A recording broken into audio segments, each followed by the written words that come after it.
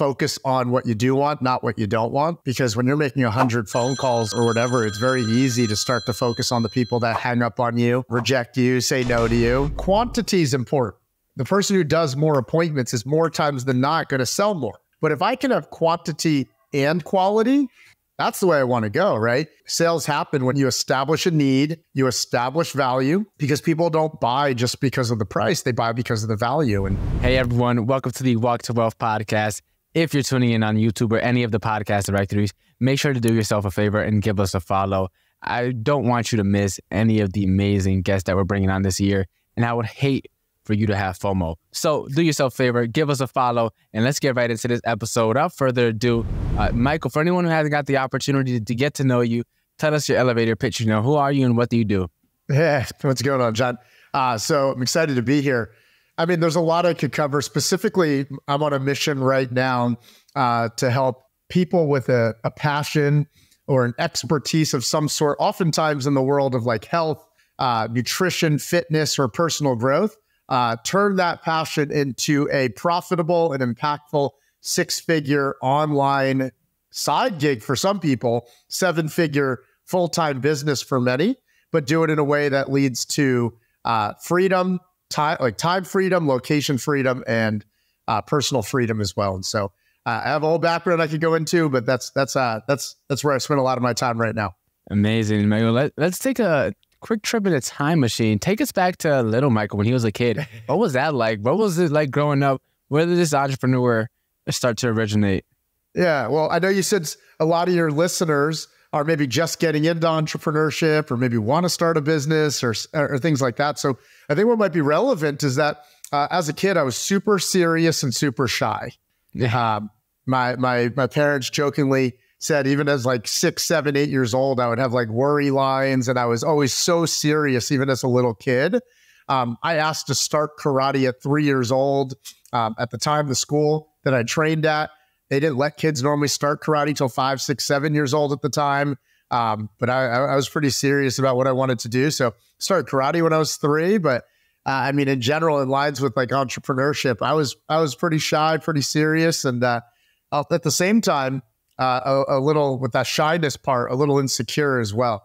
You know, when when I started getting into middle school and the early years of high school, um, at times I felt really insecure and really uh, lacked confidence when it came to being around a lot of people. Yeah, I think that's something that a lot of people face, especially around that age group, because it's something where you're probably at the height of like peer pressure at during that time. Let me ask you: Does did the insecurity fuel and in the lack of confidence fuel what you have going on today in the business in the industry that you decided to jump into? I think at one stage it did. Whether or not it was healthy fuel or it was continuous fuel, um, I, do think it fueled me in one way because, like I said, I started karate when I was three. I then competed for the next 20 something years. Uh, I won 10 national karate championships, uh, 10 plus championships. And so I share that more for context in the sense that I was really competitive. And so the insecure part of me, and I grew up in a uh, above average income area, uh, but my mom's a teacher. And so we were basically, for the most part, in that town because it's where my mom taught. It's not. So I often just felt out of place when it came to like socioeconomics. It was a heavily Caucasian area. I was one of the few Asian kids uh, in the class right? So there are a lot of reasons why I felt like I didn't fit in, or I felt like I was an outsider, or I felt insecure. And so I think two things really drove me. One, I think, like you said, it's a heavy set of years of peer pressure and peer influence. And I really wanted to fit in. I really wanted to be loved, liked, and accepted, which I think most of us desire that. But then you pair that with competitiveness. And I thought that the best way for me to be liked and loved is to win is to be really good at things. And so uh, I think that drove me, whether it was academically, whether it was, you know, getting nominated for school president or, or things like that, or whether it was finding ways to start working hard and making money or something. Uh, yeah, I think that tr- I think that drove me at that stage for sure. No, definitely, and I, I love what you mentioned too, because a lot of times, even the people that try to convince themselves that they don't need anyone, that they're cold hearted and they have that, you know, the typical high school alpha bravado of like, I'm too cool for everybody. I don't care about anyone. It's like, even those people, the only reason they're acting like that is because they weren't you know, accepted, because they didn't fit in, Yeah. because they weren't loved properly. And so now they're going to go out of their way to prove it to themselves that they don't need anyone. Yeah. But it all stems back from that internal desire, that innate desire that we all have in us to be accepted, to be felt, to feel like we are a part of the community. We're social creatures, and it's not a bad thing. A lot of people try to Yeah. knock it down. So let's segue into today's conversation a little bit. Talk to us about your, around 19, right? Is when you got first got started into the sales world, the business world, kind of. Uh, Yeah. What was that like? Take us back to that experience. Where were you at mentally? What was the world like at that time? uh, beer money. When, when- when's the next party? hanging out with my friends, sleeping till noon. Shoot, I would sometimes. My mom's a high school teacher, and I was home for freshman year of college break, and my mom would come home from a whole work day already. So school, high school ends at what two, three o'clock. She would get home at three or four o'clock, and I'd still be sleeping. So you want to tell where my mindset was at the time? I, I was definitely not this like hot, overly mature. I'm going to be an entrepreneur, super focused. I was, you know, let's join a fraternity. Um, the competitive side of me was like, I'm going to beat everybody at beer pong, you know, type of type of thing. So that's where my mentality was at 19, and I was working at Pizza Hut, and you know, for me, Pizza Hut was a source for free breadsticks, easy work, and to me, beer and gas money. Um, but how it ties into entrepreneurship, John, is that uh, Pizza Hut wasn't paying the beer and gas money. It wasn't paying the bills, so to speak. And so I needed something that I was going to pay more. And I found my first sales job, uh, which admittedly I kind of stunk at it initially. Again, shy. Uh, my mom's a teacher. My uh, my aunt, my grandparents on both sides of the family are farmers, so they're very like laborers and hard work, which I'm grateful that was instilled with me but I didn't have any role models per se close to me that were in sales or business or finance or entrepreneurship. And so sales was this new thing.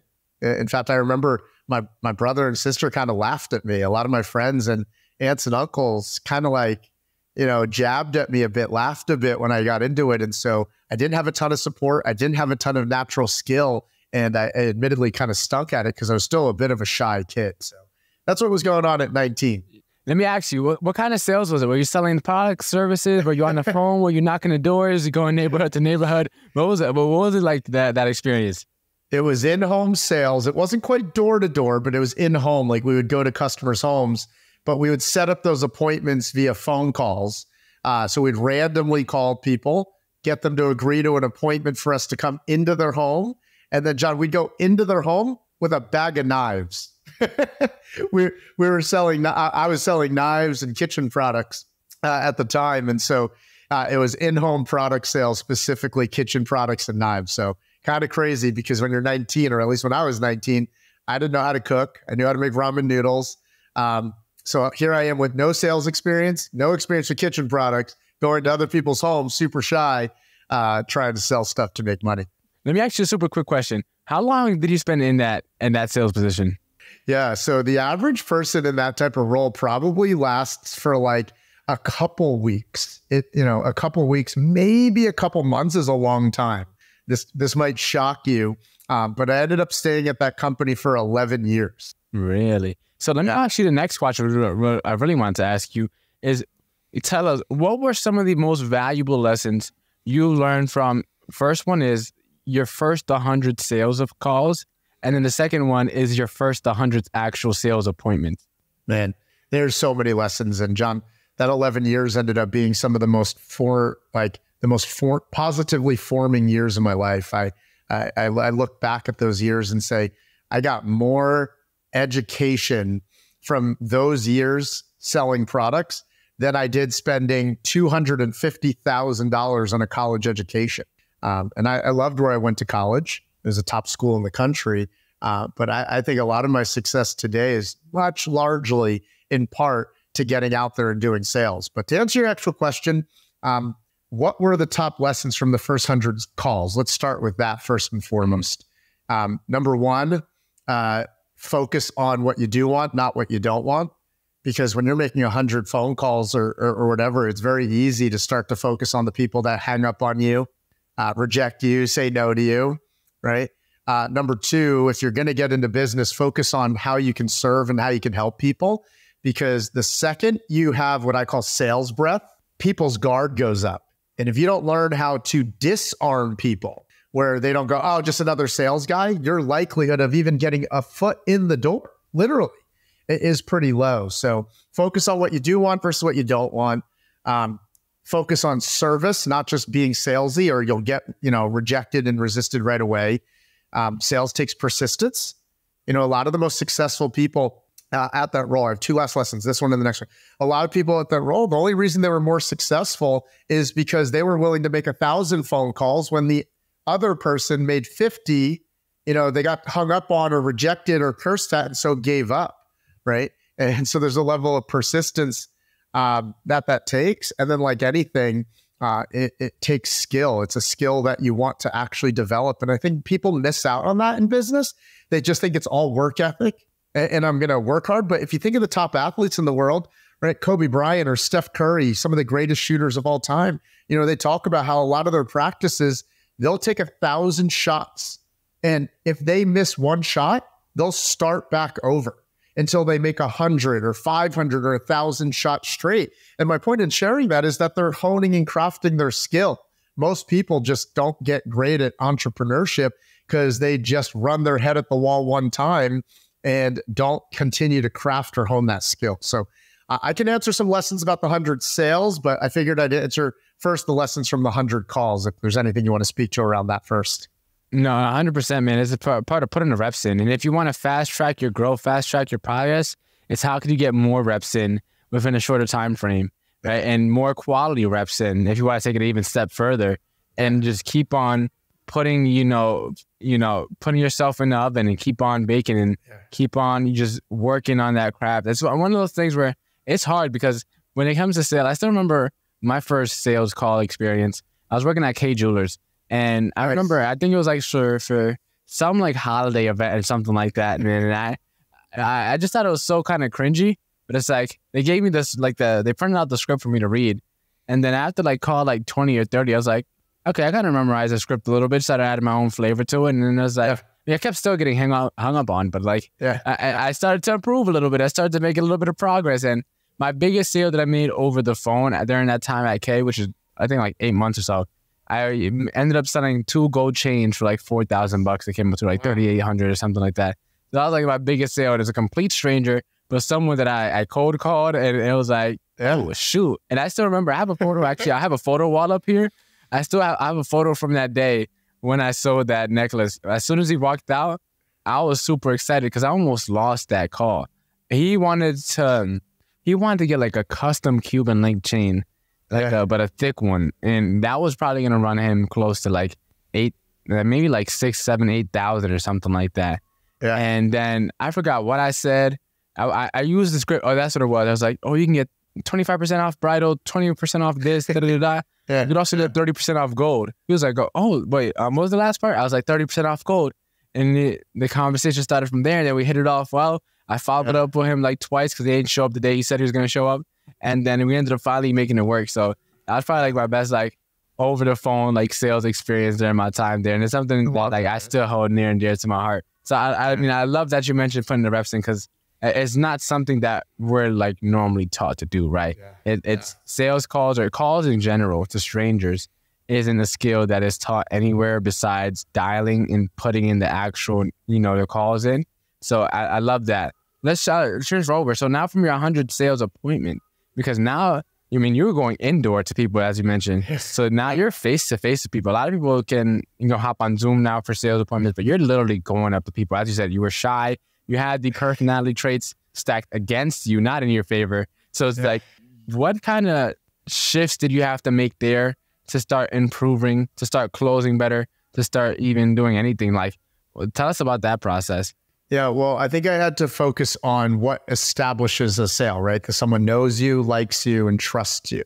And for a while there, when I first got started, I thought being really successful at sales was about being charismatic and outgoing and funny, right? Because we see those guys on like infomercials that are high energy. And I have a lot of energy, but I'm not naturally like outgoing. I'm not naturally charismatic. I'm definitely not naturally like funny. That's not, I think, I don't think those are the natural words that people would first describe me as.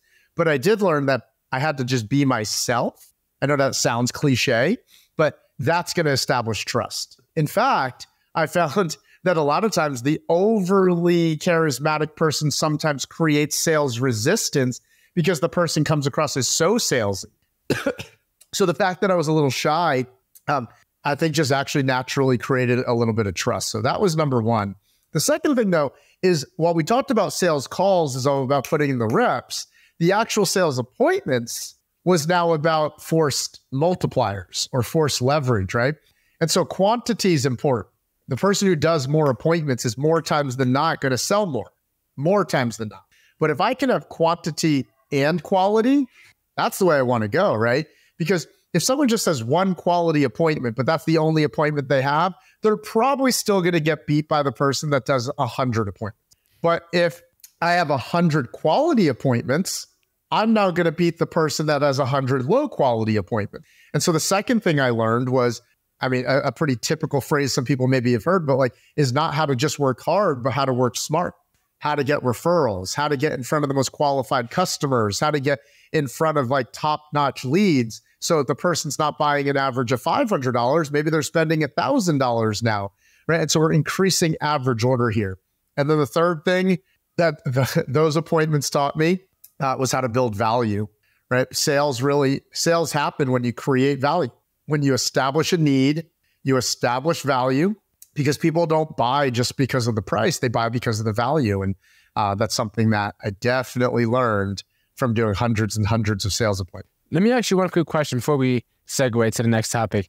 One of the things that I feel, at least for me personally, it took me a while to get over. So I know there's probably someone listening that might be struggling with this now, is that I didn't feel comfortable with high numbers. Like once I started talking about a couple hundreds, like okay, I can sell that, and then like yeah. five hundred yeah. is like oh, and then uh, over a thousand is like oh, whoa, whoa, yeah. whoa, whoa. Yeah what's going on here? This is like, so it's like, how do you get comfortable starting to sell some of these higher ticket items and higher priced items? A lot of time it's like most people treat these sales as commodities and they try to beat everyone on price.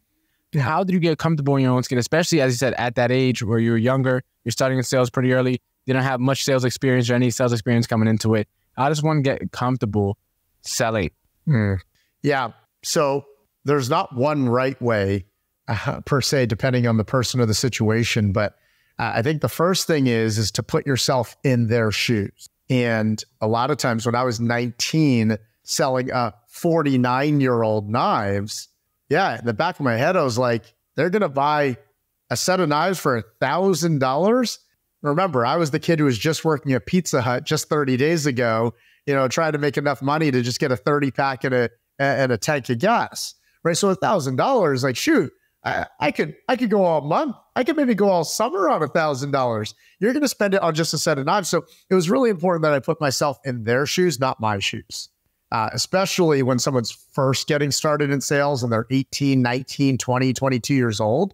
You know, we're thinking about things from our perspective of the world when we need to see it from the perspective of the person that we're selling to.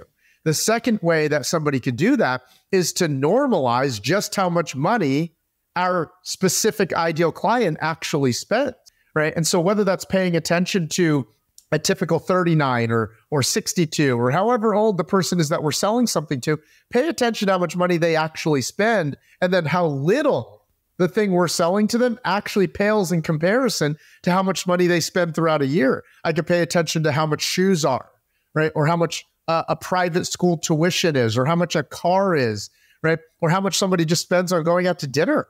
I mean, shoot, when I was that age, if I could get a free meal, that was the best meal out there. But then the more I started to make money myself or see other people spending money, John, I've seen people spend thousand dollars at dinner with four people, you know, for for one night of food, and then it's gone the next day. So the second thing is I really had to normalize just how much money people really are or were spending, not from my perspective, but from the perspective of the person that I'm going to see.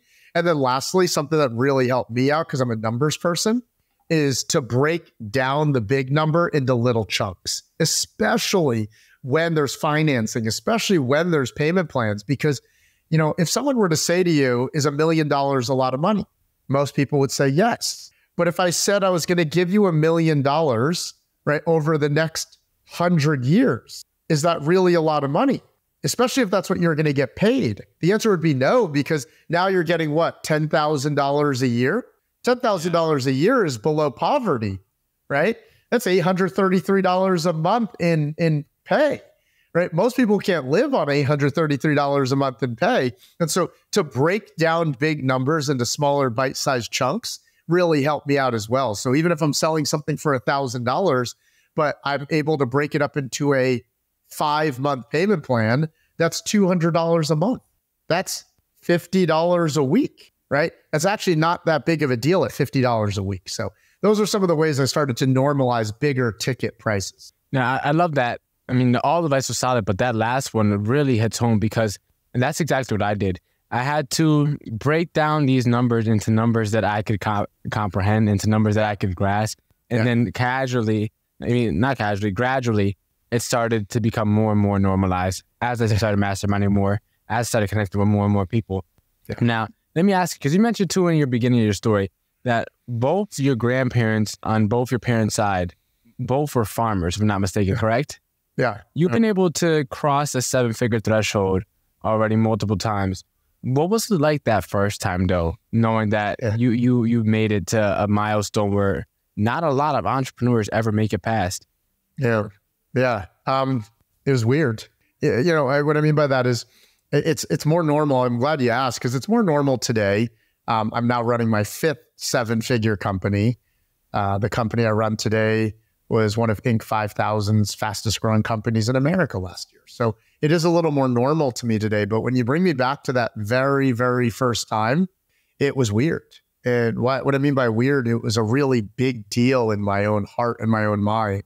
Um, and weird in a way that it was such a big deal. I, I, I subconsciously, John, questioned like if my family would still be proud of me or if they would think I was like, there was this inside part of me that's like, oh man, people are going to think I'm, I now think I'm too good for them.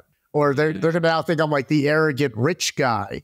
And so it was really weird wanting to like be proud of what I accomplished, but also feeling scared and nervous that people that I love were actually going to judge me for my success. So it's a really, you know, weird dichotomy or a weird type of situation to be in sometimes, which might sound easier said than done until somebody actually achieves their first seven figures and they didn't grow up around a ton of money.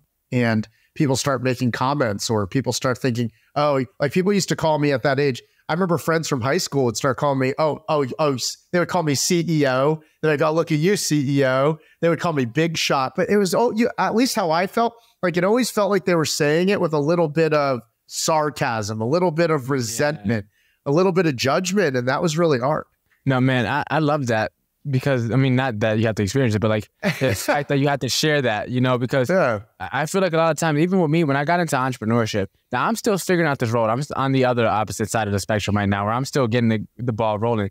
But even just jumping into entrepreneurship, like my grandparents used to say, "Oh, mira, licenciado," which in Spanish translates to, "Oh, look, the license guy," because I got licensed as a realtor, and so it's like, but there was always that hint of sarcasm you could tell behind yeah. it. There was because I dropped out of college. I decided to go to untraditional track in my family, I was like the golden child. I never got in trouble. Had the best grades out of all my cousins and stuff like that. Like everyone knew in the family, like yeah, John is gonna be the one to graduate college. He's gonna be the one. And it's just like I didn't end up going to track that they. I mean, I'm still gonna be one, just not the college graduate. Yeah. Someone else can have that hat. I'm going to entrepreneurship route. But when I decided to go entrepreneurship route, it was like, man, they were they were like everyone was asking why they didn't understand. And I kind of experienced a similar thing where they would like have that little bit of sarcasm yeah. and that and that undertone, and it was just like, wow. So I want to ask because it's something. This is a topic I've been seeing on like Instagram a lot recently in reels and videos, and it's called the the weight of gold. Right? Everyone talks about the fear uh, of failure. A lot of people have a fear of success for this exact reason. And yeah. there's a documentary that I still yet to watch, but I need to watch called The Fear of Success. I mean, the, the, the weight of gold. And it pretty much talks about all the stuff that comes with success. So, I mean, if you don't mind going a little bit deeper, what else was it like, you know, crossing that threshold now that, yeah. you know, um, when they, and engaging with people in that were from your past world, your past life prior to you finding yeah. that success. What was that like? What are some of the things that the dark sides, I guess you can say, that came with the seven figure title or that came with the success? Yeah. Man, I mean, this by itself could be the whole podcast because I think if people understood the the stories and the emotions that come with success, they could either be more prepared for it. But I think the first thing to understand, from my understanding, from my perspective, is that we're not wired as human beings to be successful, like biologically, like at our core, right? We are wired as human beings to be loved and accepted because we're pack animals by nature. And so, yet here we are in the Western civilization where success is such a big part of what everybody wants, whether that's fame or finances or materialism or whatever. And yet it goes directly against sometimes how we're naturally wired, and that's to be liked, loved, and accepted. And so, when we can understand that, we can understand the number one hack to actually becoming successful more easily. Again, when we can understand that we're wired to be liked, loved, and accepted, we can actually hack our ability to become successful easier and faster. And John, what do you think that is? Right? My guess is masterminds. That's my guess. Masterminds are fall under the banner of the answer I was going to give, and that's leveling up your circle of influence. Masterminds are one of the ways to get there, right? Because here's the deal. All of my friends and family members have never made six figures, let's just say, and I make seven figures. I'm going to feel like I don't fit in anymore. So I'm either going to A, end up abandoning them, or B, I'm going to self sabotage my own success financially. But what if all of my friends and, and the majority of the people that I spend time with the most, what if they all make seven figures and I only make six figures? If I want to be liked and accepted by them, I'm going to find a way to level things up. If they all have a six pack and are in good shape and, you know, prioritize their health, and I'm over here like drinking too much and not to, I'm going to find a way to be more like them because I want to be accepted. I want to fit in. I want to be liked. And so I think the sooner we can understand that, the the I don't want to say it never becomes easy because sometimes that means making hard decisions. But the more simple we can turn success in our brain when we can understand it starts there. Yeah. It's one of those things where uh, the difference between between someone that's super smart and super wise is by how simply they can explain a mm-hmm. concept or a idea and still get the same overall message across. And I love how you put it because it's one of those things where it's back to that old quote of you you know you're the fifth person at the t- the table of millionaires you'll become a millionaire if you're the fifth person. And people really don't understand how important it is that they audit the people they spend time with yeah. that they audit the people and what they're doing and where they're headed and it is okay to take a step back to unwind a little bit to unwire a little bit because not everyone's on the same mission. And not to say that your mission is better than anyone else's, but just to say that it's not the same.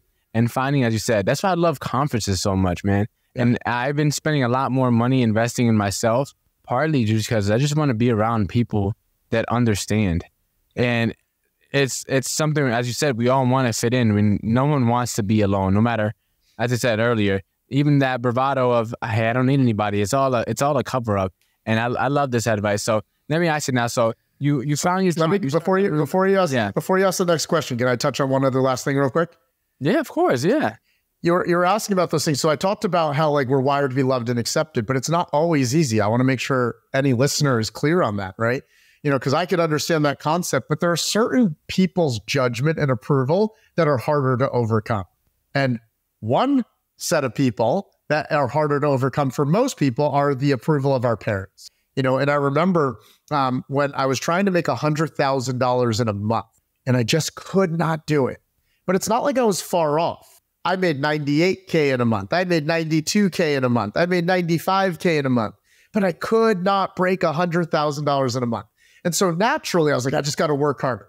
I just got to figure out a better strategy. But there came a point where I was like, it can't be work ethic. I'm literally doing 98K in a month. Why can't I break through 100?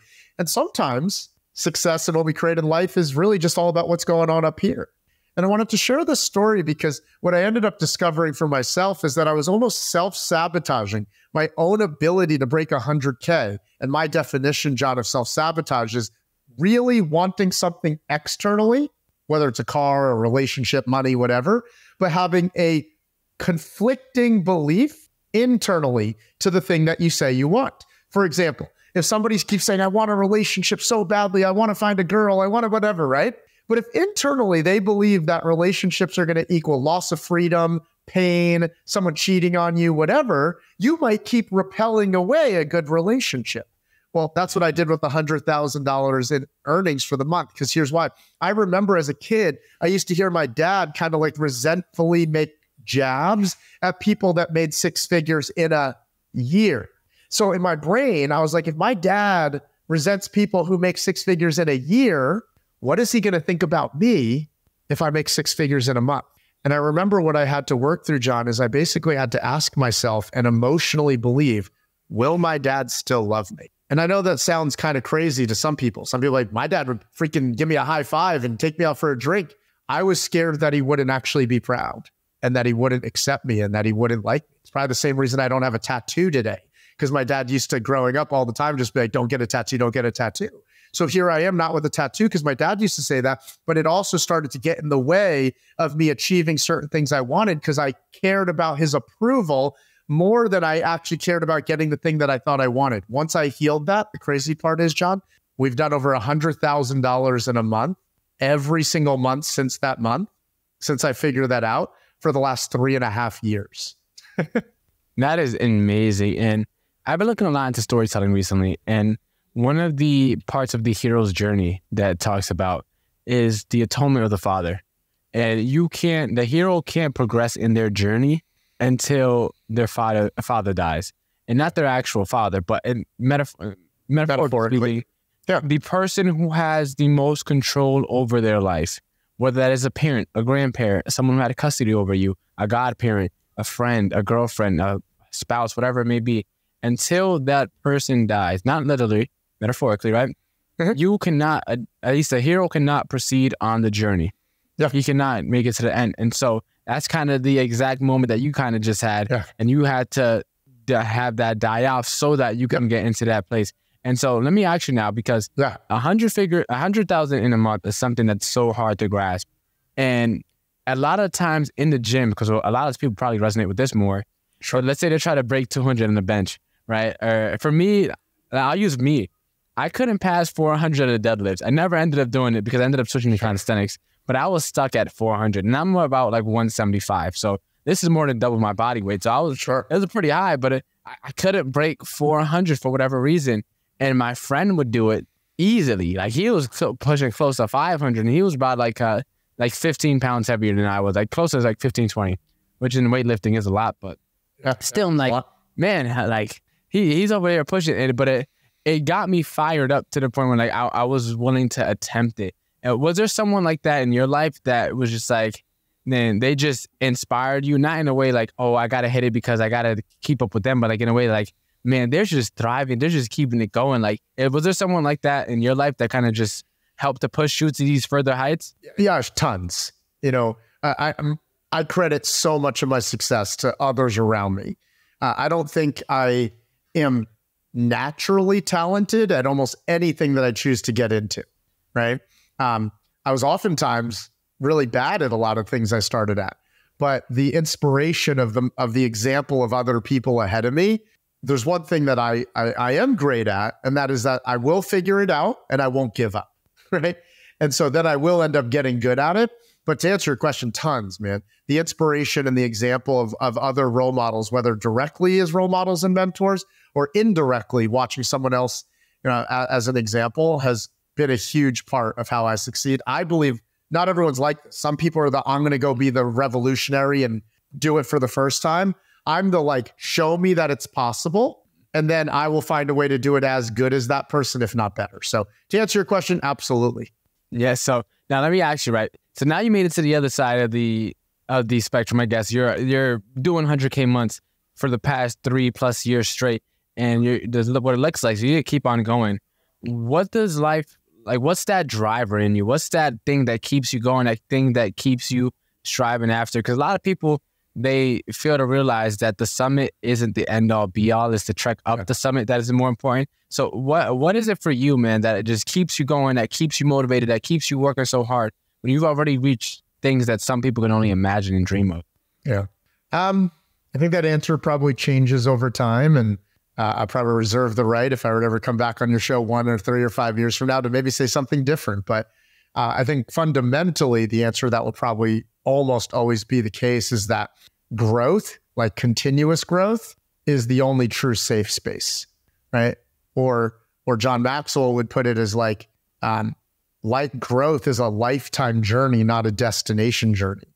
And I've just found that I am happiest on the pursuit of something or on the progression of something, not at the actual arrival of it. Right. When I think back at winning karate championships as an example, I remember more long nights, late nights, practices, right? Hard days, training camps. Like I remember more of that, admittedly, than I remember the actual competition itself. Than I actually remember like winning a trophy or something like that. Um, and I think that just points to the fact that most of us as human beings are thriving and more fulfilled during the actual progression or process of something, not the actual outcome. And so I just choose to want to be happy. And I know that for me to be happy, I need to constantly be evolving and growing. Yeah. Now, that is such a amazing point. And it's something I, when I look back on too, like I, I remember so many nights, like days, like walking to football practice. And for me, my high school was almost like two miles away. And football season in, in the Northeast, it gets pretty chilly towards the Thanksgiving months. So yeah, I, I, remember like walking with Paz, walking with the guys. We would sometimes walk back after practice, and like sometimes for summer workouts, we would have to go and it's like 95 degrees, and we're doing bear crawls and full pads on the freaking hot turf, and it's like yeah. those those were the times and the memories that.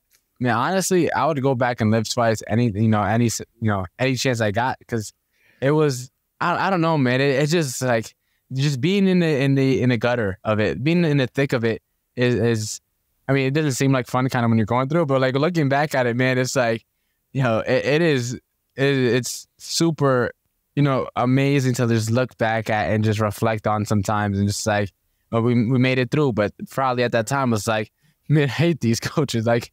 I don't want to be here. Right. And it's one of those things. Let me ask you now. Where, where in the Northeast? I'm, I'm in Connecticut. So it's not like oh. frigid cold like Maine, but like it gets pretty chilly. I'm from Jersey. That's why I asked. Oh, really, man? Yeah. It's one of those things where I got a a lot of family from out in Paterson. Uh, that's big Dominican hub over in Paterson. Yeah. So many Dominican people over there. Yeah. Let me ask you, right? Where can people connect with you at? You dropped a ton of amazing nuggets, and you made it.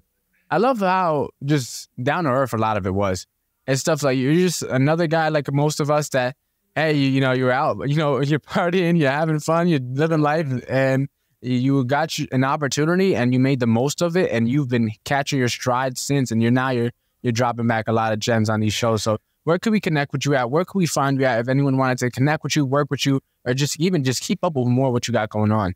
Yeah instagram or facebook are probably like the easiest ways just to connect. On instagram my handle's mike two underscores chu. Um, so that's where i'm on on instagram Michael Chu on facebook if you're specifically an online coach or, or wanting to be an online coach of any sort, whether it's a fitness trainer, nutritionist, you know, all different types of coaches like that, um, we have a we have one of the one of the most valuable free Facebook communities for people uh, like that called Seven Figure Fit Pro. And then if you already have an established business, I also have a gift that I give anybody who's already running some sort of small business, and they could just go to www.champdev.com backslash free and on, on that is a three part training of how we help our students unlock anywhere from $100,000 to a million dollars in back end profit with our LTV method. And so there's a full in depth training on there of how somebody can go implement that into their own lives. Just go to www.champdev.com backslash free. But uh, Instagram or Facebook's the easiest way just to connect, follow, and stay in touch. Amazing, man. And now it's time for our famous five questions. The question we ask every single guest on the show. Question number one What is the most impactful lesson you've learned in life? Now, the feelings are meant to be felt. You know, um, uh, growing up as a A type personality in an Asian family, and I only say Asian in the sense that I think a lot of races are like this, but Asian specifically, it's like grow up, be a big boy, like stop crying, right? Be tough and stuff like that. And so uh, I wasn't trained to feel a lot of feelings. You know, life wasn't always just sunshine and rainbows for me. I grew up in a family of alcoholics, and um, feeling feelings was not something that came natural to me. And, and why this has ended up being one of the biggest lessons is by not learning how to feel my feelings, I could get by for a while. But at some point, what we resist persists, and then sometimes it explodes. And for me, when I would bottle up emotions, explosions, especially when you pair alcohol with it, would sometimes lead to like saying stupid shit to people I love or trying to start a fight or or punching a wall or things like that. It's probably a huge reason why I gave up alcohol forever uh, almost four years ago now. But um, in line with that journey, I also learned how to process and feel and attend to what I'm actually feeling. And how, were to summarize the lesson, John, true masculinity or true strength is knowing how to feel your feelings. And I used to think strength was like, no, I'm good. No, true strength is knowing how to feel deeply whatever you're feeling, whether it's sadness, whether it's jealousy, whether it's scared, whether it's anger, whether it's stress, and knowing how to feel that and process that in a really healthy way. And that's amazing, man. What is the most admirable trait a person can have? Integrity. You know, integrity in a lot of ways because you follow through on what you actually say you're going to do. But integrity is one of those things, in my opinion, that it's easy for most people to be like, yeah, I'm going to be an honest person. But the truth is, the more I've been around people, human beings will violate their values. They might value truth, but they'll va- violate their values to meet a need. And if we don't feel safe, like, oh my gosh, I'm going to get in trouble, we'll lie, we'll omit. And so to, to truly be able to embody the characteristic of, of integrity uh, is a truly admirable trait because most of us will compromise integrity to make a little money, to not have someone mad at us, to get someone to like us, you know, and or, or break our own integrity with ourselves because it's easier to go watch TV right now. It's easier to do whatever. Um, by no means am I perfect at it, but for the last half a decade, a commitment to, of mine is to be a man of integrity, um, even when it's hard. if you want to get into my phone, my password is uh, integrity, and um, yeah, for that reason, I think that is one of the uh, most admirable admirable characteristics. If you had to change someone's life with one book, which book would you recommend? Hmm. I guess it would depend on really what they're looking for. But um, I'm gonna. I know. If, I know when people are on shows like I'm not going to answer the actual question you answered because I'm going to instead of one I'm going to give you two, but two that come to mind. The the one if I had to give the answer of one, it would be Think and Grow Rich by Napoleon Hill. I think it's a classic, an oldie and a goodie, uh, but a more modern day version uh, that I think honors more the Western civilization and the Western culture today uh, would be the Happiness Advantage. And that book by Shawn Achor goes deeply into is going to achieve, is achieving and becoming successful actually going to make us happy? Or does learning how to become a happy person, is that actually what's going to lead to success? And I think it's really a, a, a foundational book for people who want to feel fulfilled, not just successful. What is the legacy that you're trying to leave behind? Sure. That's a, a beautiful question and one that I'm still trying to get clear on. Um, you know, as a dad of two young girls, um, I, I I've been asking myself a lot, like, what's the legacy that I'm going to leave uh, behind for them? But one of the legacies that I believe I do want to leave behind is that I inspire others to champion uh, the greatest love, abundance, and glory that their life is meant for. And I think so many of us don't believe we're actually meant to be loved, or we're never in a space where it feels safe that we're fully accepted.